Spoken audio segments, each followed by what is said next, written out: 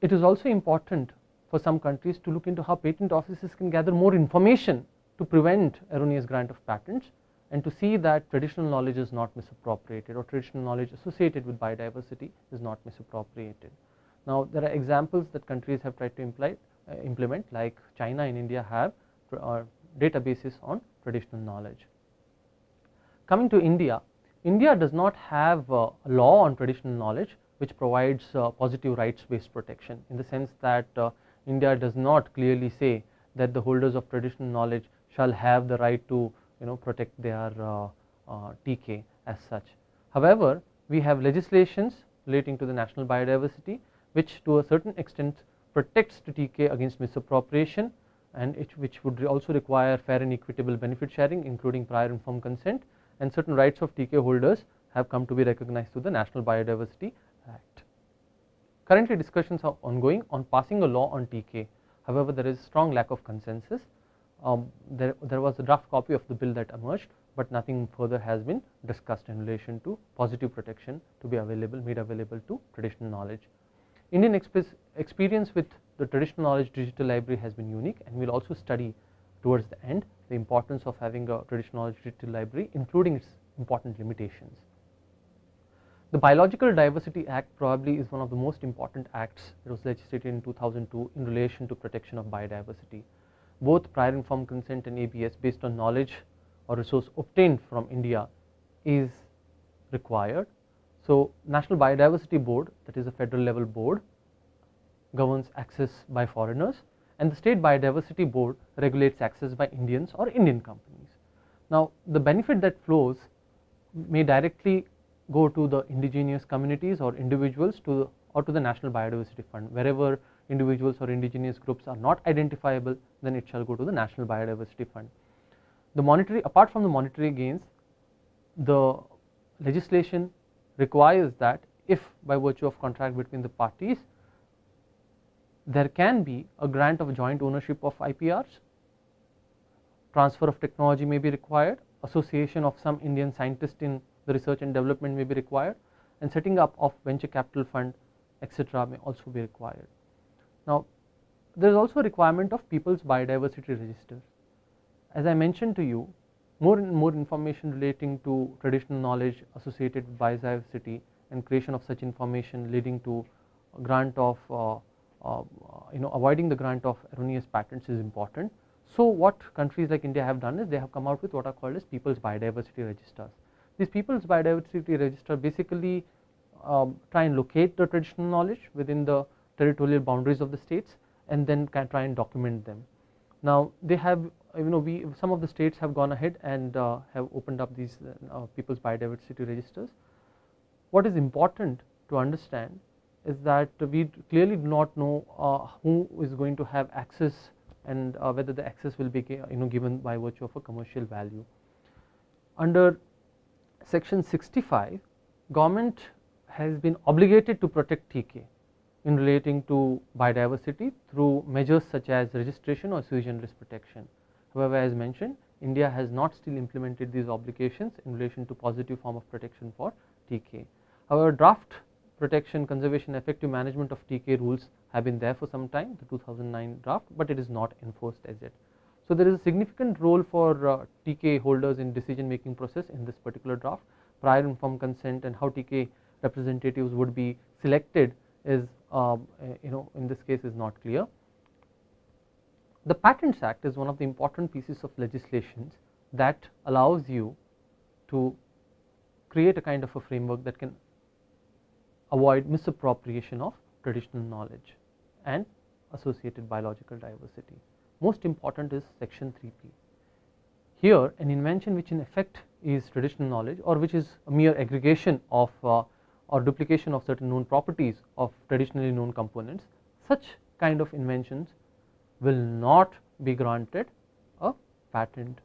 Now it is very interesting to see what happens if the novelty aspect, the inventive step aspect and the industrial application these three criteria that constitute an invention are qualified and yet section 3p would exclude certain kind of inventions primarily because this kind of invention is an aggregation or duplication of known properties of traditionally known components.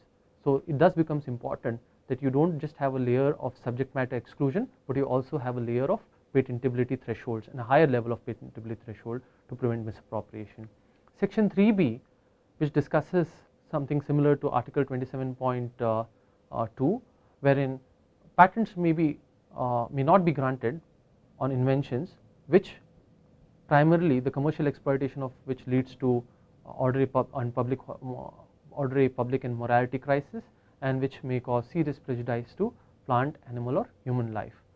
This provision has not come to be interpreted through any kind of uh, uh, uh, appellate court judgment, but suffice it to say at this moment that the commercial exploitation of the invention must lead to certain kind of consequences that are mentioned in section 3b. Furthermore, section 3j discusses certain biotechnology exceptions. Now this clearly implements the obligations that are required under article 27.3b wherein uh, member countries are free to exclude plants and animals and essentially biological processes, but they may not exclude for example microorganisms and non essentially biological processes including microbiological processes. So in, in this case section 3j of the patents act excludes plants, animals including parts thereof. Now how the, the interpretation of parts thereof must lead to certain kinds of exclusions of biotechnology material is not particularly clear.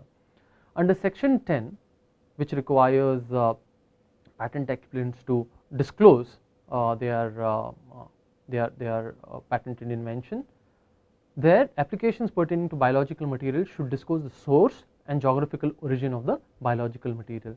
This is an important requirement under section 10 of the Patents Act. Similarly, this has been clarified and how this has to be done is clarified under form 1 under the patent rules and under form 1 you would require declaration by an applicant that the biological material used was from India and that it has obtained prior permission from relevant authorities. Now the source that I have taken from Anuradha RV suggests that there is no evidence of Biodiversity Act permission however required. It means you need not go and get a you know specific certificate or a requirement from uh, you know that is not a, clearly a requirement under the patent law. But what is the legal effect? Ultimately the legal effect is revocation. A patent may be revoked both under section 64 and 66 if it does not comply with the disclosure norm under section 10. Now this revocation is kind of interesting because under section 64 you can revoke on all the grounds that contain to, pertain to patentability including lack of novelty, lack of inventive step, lack of industrial application and lack of disclosure. At the same time section 66 goes one step ahead and allows governments to revoke the patent purely on the ground of public interest or that it is mischievous to state. Now provided you give a, an opportunity for a hearing. There are two examples primarily that lead to revocation under section 66 one of them will be discussed today that is Avesthagen patent. Now this particular patent was filed by an Indian company called Avesthagen relating to the um, anti-diabetic properties of jamun and other uh, fruits and uh, these patent applications were not opposed interestingly by, uh, by, by any groups including the uh, CSIR. However, CSIR had opposed the same patent application filed in the European Patent Office but it did not oppose the application the similar application that was filed in India.